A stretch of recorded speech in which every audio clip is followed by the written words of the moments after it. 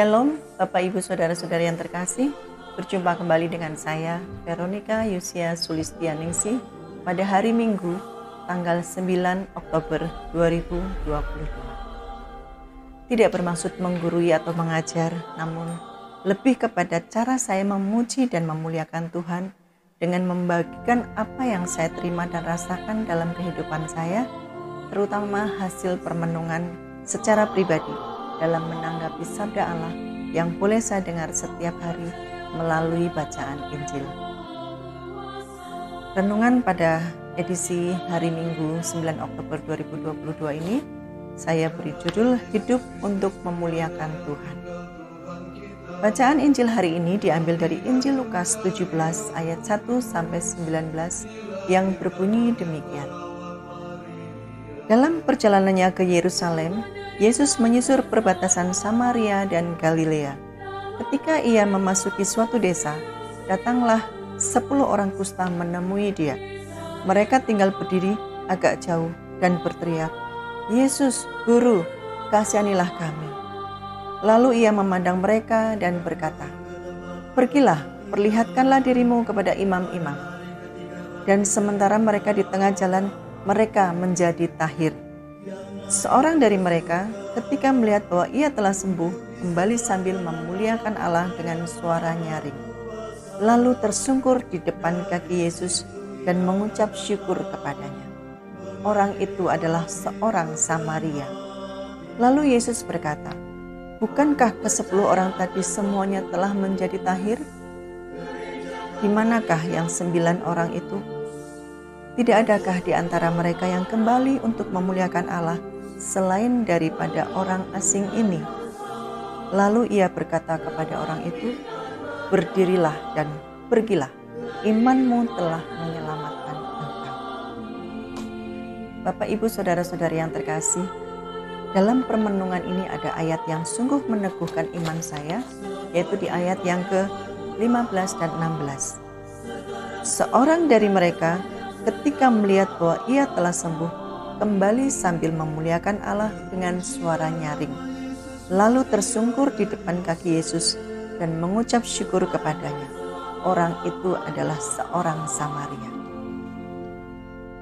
Karya keselamatan Allah tidak akan pernah dapat dibatasi oleh ruang dan waktu.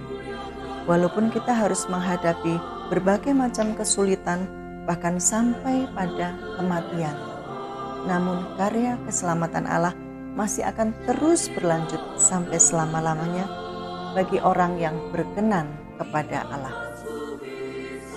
Menarik dalam bacaan Injil di atas, di antara kesepuluh orang kusta yang telah merasa disembuhkan oleh Allah, hanya satu orang yang kembali datang kepada Yesus, dan dia adalah seorang Samaria. Apa yang mendorong seorang Samaria mau datang kepada Yesus? Karena Yesus telah menyembuhkan sakitnya oleh karena imannya kepada Tuhan.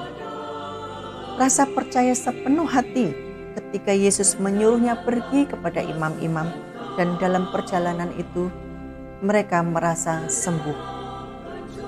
Bisa saya bayangkan mereka meminta belas kasih Yesus supaya dikasihani atas penderitaan sakit yang mereka boleh rasakan namun malah mereka disuruh pergi dan mereka taat pada perintah Yesus tanpa syarat. Tetapi rupanya dalam perjalanan ke sepuluh orang kusta itu menuju imam-imam, Yesus berkarya. Dan karya keselamatan itu yang mendatangkan kesembuhan. Dan orang Samaria itu merespon karya keselamatan Allah dalam kesembuhannya itu dengan kembali datang menemui Yesus, memuliakan dia dengan suara nyaring dan tersungkur jatuh di bawah kaki Yesus. Dengan sepenuh hati orang Samaria itu mengucap syukur kepada Yesus. Bapak Ibu Saudara-saudara yang terkasih, predikat orang atau bangsa Samaria pada waktu itu adalah dipandang rendah. Dianggap bangsa yang tidak bertuhan, dicap sebagai orang kafir, berdosa, terpinggirkan, dan terhina. Kerap dipandang sebelah mata.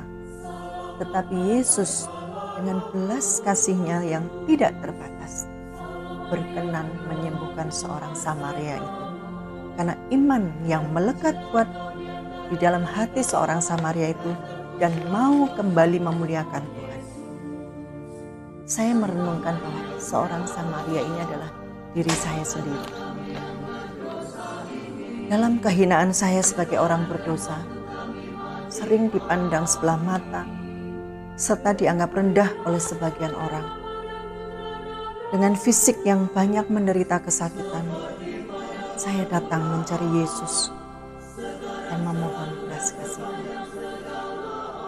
Saya datang mencari hadiratnya, mencari wajahnya, dan dengan setia serta penuh syukur, saya merayakan Ekaristi, menyambut tubuh dan darah Kristus sebagai sumber kekuatan bagi saya pada akhirnya saya menemukan damai sejahtera dan sukacita.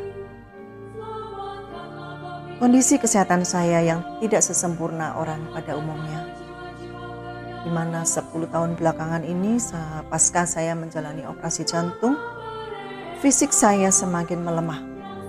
Apalagi dengan ampedu yang sudah harus diambil, ada miom dan kista yang mulai membesar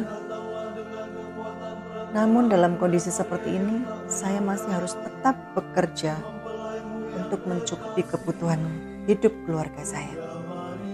Pergumulan yang saya alami tidak hanya secara fisik, namun secara psikis pun saya mengalami satu kesusahan ataupun penderitaan secara batin. Kesusahan secara ekonomi pun sungguh-sungguh saya rasakan. Terhimpit permasalahan hidup yang bertubi-tubi membuat saya mencari jalan keluar dengan pergi kepada Yesus.